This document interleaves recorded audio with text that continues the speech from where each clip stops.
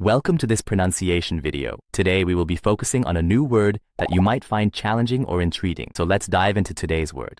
Jahrtausendwende, which means, The transition period between two millennia. let's say it all together. Jahrtausendwende. Jahrtausendwende. Jahrtausendwende. One more time. Jahrtausendwende. Jahrtausendwende. Jahrtausendwende.